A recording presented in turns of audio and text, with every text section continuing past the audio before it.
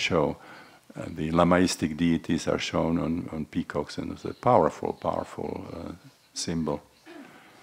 And again, something interesting. Now she she passed through the two matrices, and what happened? She was reborn, but now the regression continues, and now the way is open all the way into the kind of a prenatal state, which in this particular situation takes oceanic form, and she's now beca- becoming one with different uh, fish, jellyfish. For some people, it could be uh, dolphins, whales, and so on. So the fetal and the oceanic are both Neptunian states, and they're very, very closely, uh, closely related. And here she's coming down. The emphasis is she's grounded, she's connected, connecting to the earth, but the head is in heavens, and there are birds, again, as cross cultural symbols of spiritual liberation. Okay, now we do something else. This was journey of one woman. Now I will show you a number of pictures. Most of them are from psychedelic sessions, and this is, uh, you know, I'm showing this in our training or in workshops um, where we cannot do psychedelics, but we do breath work. So people do their own breathwork mandalas. So this is why there is really more of the psychedelic imagery, but there will be enough of the breathwork um, images that you see this, the, the similarity. And we will go in the sequence of the biological uh, order of the of uh, the matrices, which we, we go to the first, second, third, fourth. This is not the way it would happen when you work on it. When you work on it, it can come in any kind of sequence. And there's something that I don't have time to go into, but this was that last point. Uh, I've worked now for 30 years with Rick, who is a brilliant, Rick Tarnas, a br- brilliant astrologer. And we found out that which matrices you visit in your sessions will reflect the archetypes of your tra- transiting planets. And again, you can find on my on my um, website, you know, this stanislavgrof.com, you can find a, a, about 40 pages paper on how we how we work with archetypes and astrology. There's also an article from this new journal that's now beginning to appear, where Rick Tarnas is kind of the mastermind behind it and it's about archetypal psychology and astrology. For those of you who are astrologers, it's called Archai. As the first issue is available now on the web. Uh, okay, so this is this is uh, the experience of a good womb, sort of being in the womb and at the same time experiencing oneself as being in the in the cosmos. And again, there is this coex layering if you are if you are in a good womb, it's very easy access to being also on the good breast. You can go back and forth or even simultaneously. Both Neptunian experiences, both symbiotic fusion with the mother, both mediated by liquid, by blood on the on the level of the womb and the milk on the level of the of the breast. And what you see here is that the galaxy has the form of a breast. And we have it in the language, you know, in uh, Greek you have gala, in uh, Latin you have lac. Galaxy is milky, it's Milky Way. So here you can see the fetal is also close to the cosmic. We saw the oceanic, now we see the cosmic aspect. This is another another person the, fetal element is a little smaller, but it's, it's essentially the same. And this is now the good womb opening into the oceanic, where you can literally become become these creatures with deep insights into them. This is not coming from a I don't know if you have Nova programs or the you know, planet or this is not coming from the television or from movies. You become the the whale. I mean, you you get the very specific taste in the mouth, you know, that that the, that the, they have, you can you can experience the sonar and all those things in dolphins. Okay, this one has both of those elements, or all three. This is a fetus in an oceanic setting, and at the same time in cosmos, orbiting uh, satellite. So this kind of experience would come when you have some strong Neptune as a transit. This is uh, again being child in a good womb, and it becomes archetypal. This is like Jung's uh, divine child archetype. This is a, a, patient whom I described in uh, the book When the Impossible Happened as Milada. She was psychotic when we started doing the, this. And here she had the experience of being in the good womb, and she opened her eyes and looked at me, and she said, "There are no, there's no boundary between us. Uh, actually, I, I know what you are thinking. I know your thoughts." So the researcher in me say, "Okay, let's let's try." And she was in my head. I mean, she she knew my thoughts. So it was not just that she thought she was telepathic, but she was really, really reading me. I don't know if you can see it.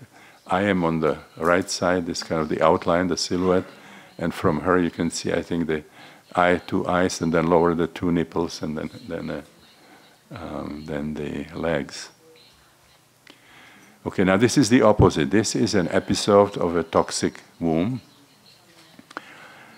That's several interesting things.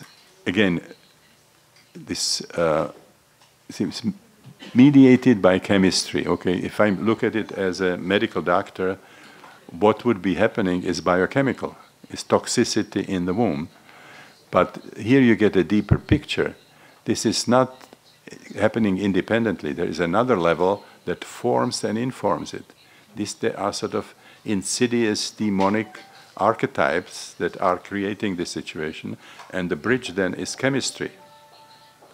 Uh, so, so here there is the realization of the archetypal level that's that's creating that, and on the other hand, there is also identification with other creatures in a similar predicament, which is like fish in polluted waters and chicken uh, in a very advanced stage of embryogenesis, where there is, you know, incredible toxicity inside because there's no way of getting these the metabolic side products from the from the explosive growth. These are the kind of experiences where people become militant ecologists. They, they realize realize what we are doing. We are polluting. You know, we are polluting the egg in, in which uh, uh, in which we live, on which we depend. Uh, we are, you know, we're polluting rivers. We're polluting the air, and you just see that it's insane. It's insane to be a biological creature and destroying your, your vital environment. So you don't have to teach people ecology. This is a hostile womb, I talk about it already. And again, RH incompatibility would be a biochemical problem for us, but that's not enough. You see, there is another level that's sort of uh, creating it, that's, that's expressing itself chemically in the womb. This one was called uh, uh, Always Hungry, uh, undernourished. And again, you can see the other level, the hunger happens also on the breast. It's a bad, bad womb, bad breast. And this is a really bad womb. Okay. I love this one. This was a sense that there was not enough vitality in the prenatal state.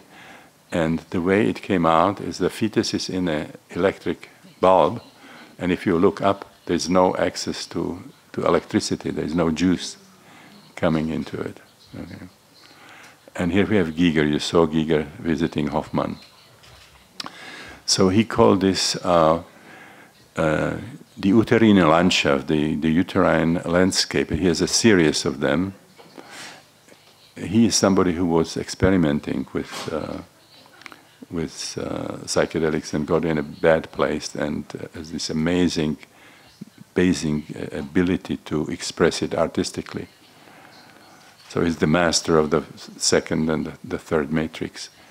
So this is when you when you get in touch with the inside of the uterus, which is sex, birth, okay, and then he puts crosses there. It's a cemetery inside of the uterus, which is now birth, sex, death. And when I show this in Switzerland, men told me this is the shape of the targets which the Swiss army uses for shooting practice. So he got also violence there. So it's a very interesting way of uh, working with images.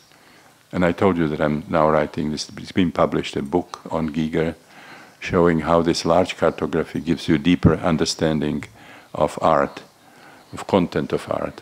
You know, the, in the tradition of uh, Freud, Leonardo da Vinci, his analysis of Hamlet, uh, Merchant of Venice, Goethe's uh, Dichtung und Wahrheit, and so on, Bo- Marie Bonaparte's uh, analysis of Poe. Those were all trying to explain it from biography. And so I'm trying to show how you certain certain art you can you cannot understand without expanding the, the cartography. This is Carmen, and Carmen did the whole training with us, and uh, they're just dear, dear friends. And you can see the size of the of Hans Ruedi's pictures again. And on the left is Rick Tarnas visiting with me. Uh, Alejandro Jodorowsky invited uh, Hans Ruedi to do the art for the Dune.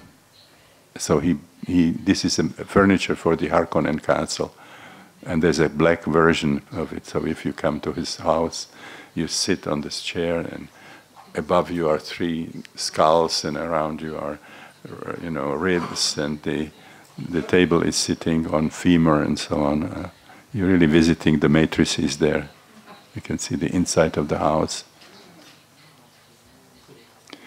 Okay, he was he was uh, as a child he was just enamored by ghost rides. There was in Chur, where he grew up, they had the kind of an annual mart, and they had a ghost ride. And so he created a ghost ride for the children in uh, the neighborhood.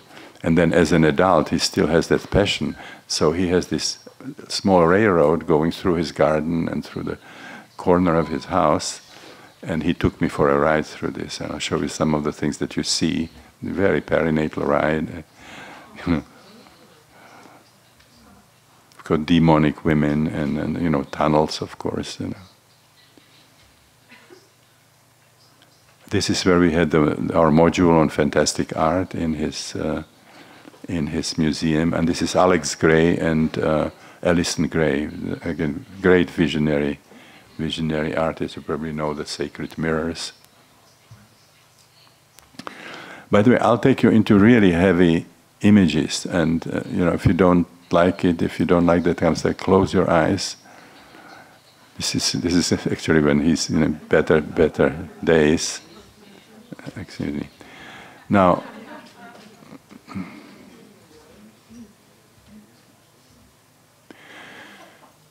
Uh, you see, I think it's extremely important to know what the psyche is about. As long as we have psychology where the worst thing that can happen is bad nursing or uh, you know and even even physical abuse we will never understand Nazism, communism, what's happening in what was happening in Bosnia and so on. So, I mean, this this process takes you into into the places in the psyche out of which these kinds of impulses come. Now, the good news is that there are now technologies that we can go there and we can work with it. We can we can transform it. Okay, those are the. But there are people who don't want to who don't want to see this aspect. They want to look at this aspect. So, if you if you really respond very negatively, just close your eyes. But uh, but I think we have to know what we are dealing with before we can do anything about it. Okay. So this is another vortex like Harriet Francis, you can think about Edgar Allan Poe. He has a story, A Descent into the Underworld. You take some other stories, Pit and the Pendulum, uh, Premature Burial, uh, House of Usher, you know, all those things are powerful. The power of Poe's stories is that he, he sort of describes these perinatal images. Okay. So swallowing, being going into the birth process is like whirlpool, being sucked in or being swallowed by some archetypal being. Again, you can think about mythologies. Jonas, the great fish, you know, swallowing, retaining, and regorging. Uh, Saint Margaret being swallowed by the dragon. Jason being swallowed by the dragon, and so on. Heroes' journeys into the into the underworld. Uh, uh, you know, from Odysseus, Orpheus, and so on. Steppenwolf, uh, you can look at this. So you can see these swallowing, you see that it's related to death. There is a skull. You can see the placenta, where the archetypal image underlying the placenta is the world of life, the very powerful, the very powerful archetypal image. And there we have snakes. We'll see quite a few snakes. Um, if you are Freudians, you know what snakes mean. There's only one meaning. Uh, that's another very imaginative way of working with symbols.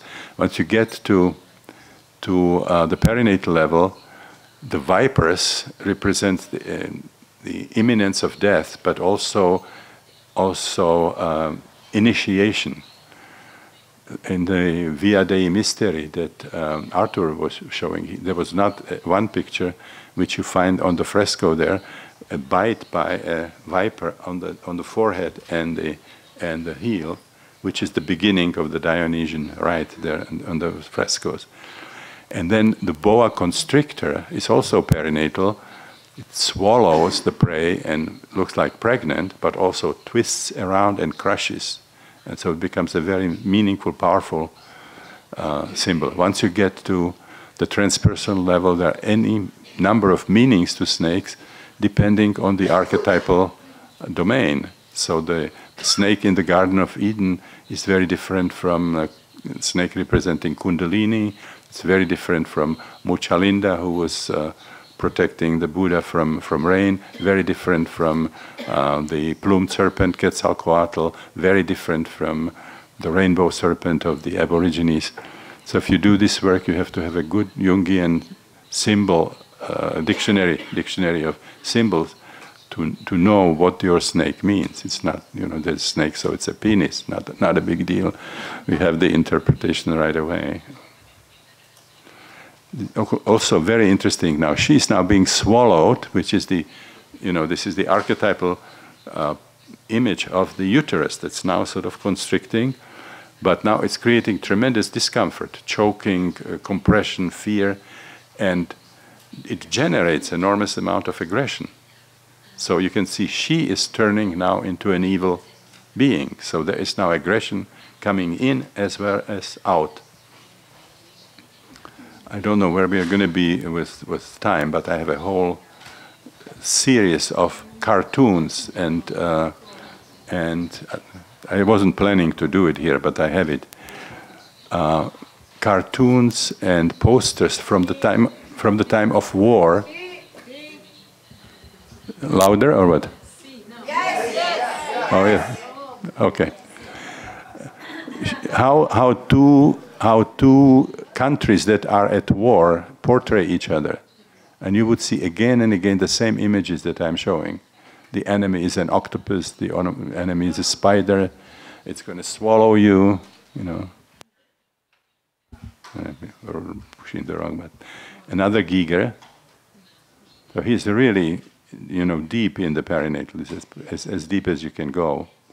So if the fetuses, you know, very frail creatures, but this is a, the, the weapons, the, the grenades and the, uh, the submachine guns are illusion to the, to the powerful uh, battle that these, these creatures have to go through. Then they have the, the uh, on the forehead, you know, they had the steel rings, for, and he makes them into these pitiful Indian warriors by giving them these uh, uh, feathers.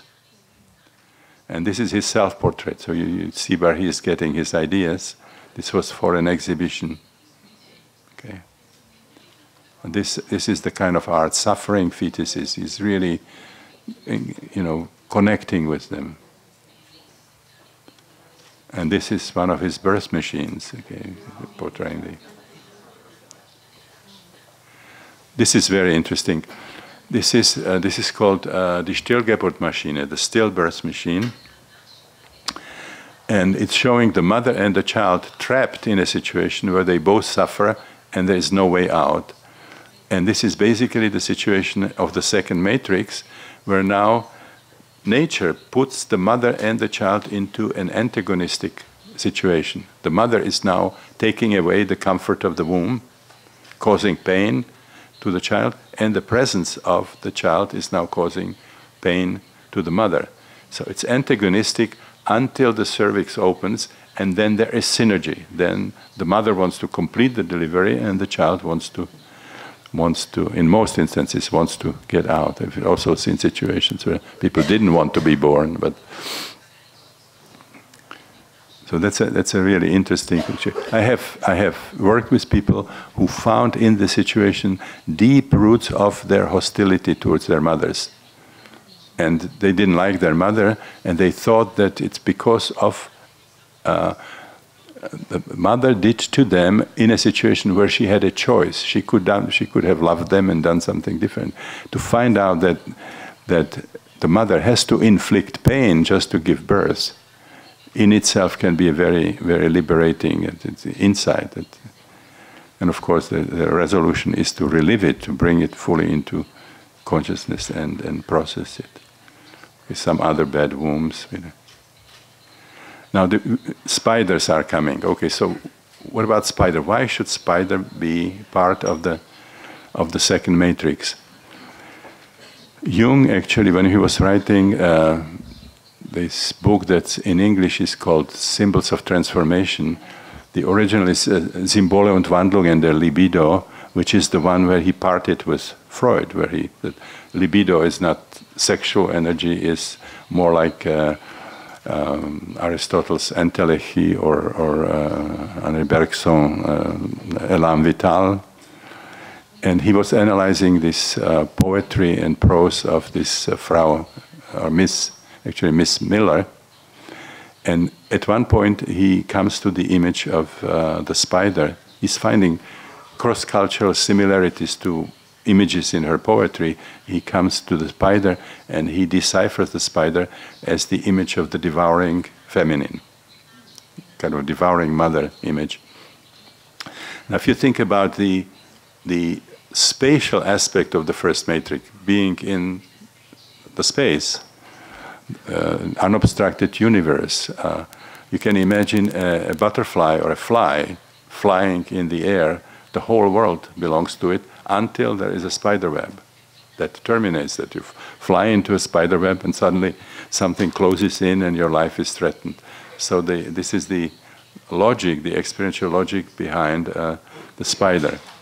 So people who have arachnophobia are not afraid of the spider out there, but they saw what the spider did to the fly, and they somehow it started stirring up their own memory that something like that happened to them, and the fear is coming from within. It's not coming from the from the spider. If it's a real arachnophobia. Okay, from a from a psychedelic session. This is from a breathwork session, so we can see the you know the similarities in it. This is from the from the breathwork training. If you can pay attention to this one, because we'll see the resolution of that. Okay, another LSD session. Mother Dragon, okay. And now these two images are not from self exploration. At a certain point, I became interested in the art that people paint. Uh, when they are on death row, there's a whole big thing on the internet, and uh, there's a business sort of, you know, somewhat perverted. This is a person who knew that he would be executed, uh, like in a few days. So the upper part makes sense. Bars, I mean, he is, you know, he is in a cell, but you see suddenly there is the there is the spider web, and look at look at this one. Okay, so the so his his image of the of death is really being drawn from, from the perinatal. Now, this is the, like the female reproductive system in the, in the process of delivering. So it becomes like a combination of a prison, of a torture chamber, and a, and a um, press, gigantic press. This is Giger. Another th- attraction that was in this annual mart was this uh, gadget that sort of measures force. You know, men come there and they hit, and then how high it goes. And in his adult artistic imagination, it became this uh, vagina dentata, this kind of a uh, vagina guillotine kind of a situation. if you do this work, you completely uh, rethink and, and uh, reconstruct the basic Freudian concepts. Freud had the idea of vagina dentata, that the vagina with teeth that can kill, that can castrate. And for Freud, this was like the silly fantasy of the little infant that doesn't know better. If you realize that there is a record of birth, it's not that silly, you know. I mean, this is an organ that can be dangerous in one situation, namely when it's delivering you. So then, when it's extrapolated, when it's taken into other situations, then it's inappropriate. But in its in its nature, in its root, that reflects clinical reality. The same Freud's uh, Freud's idea about the castration complex. He ran into um, amazing problems with it. It didn't make any sense because he found, it in women, uh, and, and, he was talking about the fact that. Um, uh, first of all, you know, the penis, the penis is the most important thing in the world, and it's all about having and not having a penis. So, uh, Freud's psychology of women is a, is psychology of castrated males, basically. So his idea was that, that girls believed that they had a penis and they lost it, lost it so they they were sort of uh, uh, guilt more guilt prone and more masochistic and so on. And of course, the boys are horrified that they might lose it. But then there were things uh, fear of castration equals fear of death. Well, it's not, not, not great to lose a penis, but it's not, you're not dead yet. You know, termination, loss of an important relationship activates the castration complex. Where is the connection? And the associations following associations about castration, which could be like circumcision, you talk about circumcision or operation for phimosis. The next most frequent association is to suffocation. What is the connection between castration and suffocation? So, in this work, it would be a coex where there could be something like circumcision, and for women, uh, DNC or painful cystitis, but the, the deeper level is the cutting of the umbilical cord. And then suddenly, you understand this is what we share, men and women share. It is certainly a loss of an important relationship, being severed from your from your mother, and uh, it's your pipeline of oxygen. So if somebody cuts the umbilical cord, you choke. Okay, so we'll see another picture that illustrates it. Now this is like the whirlpool. This is a termination of the oceanic aspect of the first matrix. Okay, we, we saw the spider as the as the termination of the spatial, of the of the cosmic uh, aspect. This is a birth as a fight with a python. Guilt, guilt is a very important thing. You work with people who are consumed with guilt. You think about Kafka, for example. Um, irrational guilt. You don't know you don't know that you've done anything that terrible and you feel very very guilty some people feel guilty about even being here you know for existing and so on and if you if you work with holotropic uh, breathwork or holotropic states you would find a history of guilt tripping your parents what your parents told you about you know if if you knew how much we sacrificed for you you couldn't do this for you know um, I've, I've, worked with people where the mother was using labor pain. If, if you know what terrible agony it was to give birth to you, you